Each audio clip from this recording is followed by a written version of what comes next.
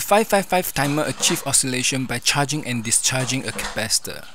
When the capacitor voltage falls outside the allowable range, which is marked by the upper and the lower thresholds, the internal circuit will toggle the charging and to pull back the voltage within the range.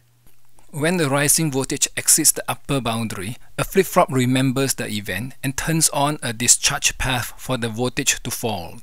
This is like the water exceeding the weight limit topples the cup. Once the toppling begins, the event is locked in because the moving water will only produce greater torque and so that the toppling is unstoppable. This is like the flip-flop locking in the discharge event until the capacitor voltage falls to its minimum.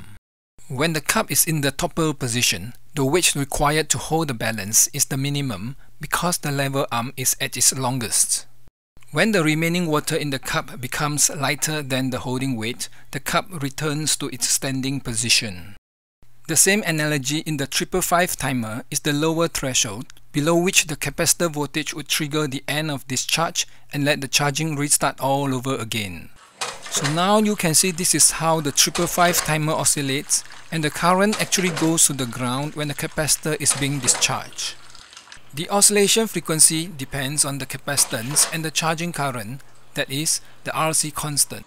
So by increasing the charging current, the oscillation speeds up. Okay, at least I have demonstrated that the 555 timer doesn't oscillate like a pendulum.